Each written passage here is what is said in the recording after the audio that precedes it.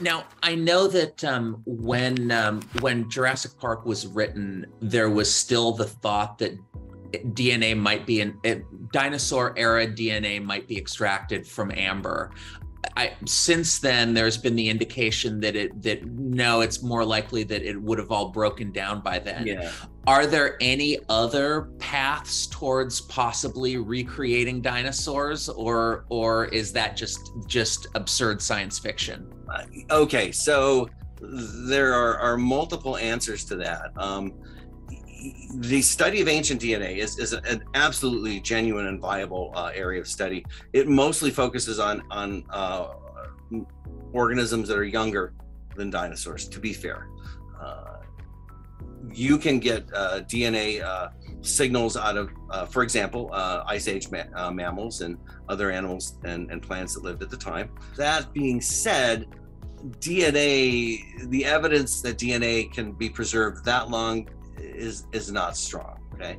However, uh, there are other paleontologists or paleobiologists working on these problems. A, a great example is Mary Schweitzer, uh, who has uh, found evidence of preserved biomolecules.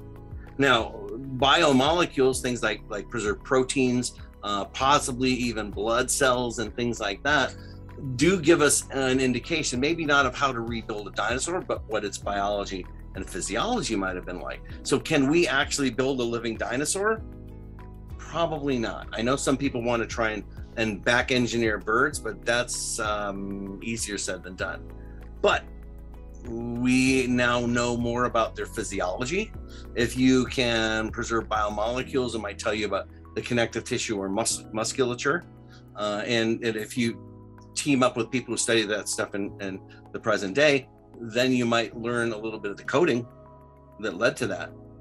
And so I'm a huge advocate of paleontologists working with present day physiologists to sort of get an even better idea of the biology of, of the dinosaurs that lived so long ago.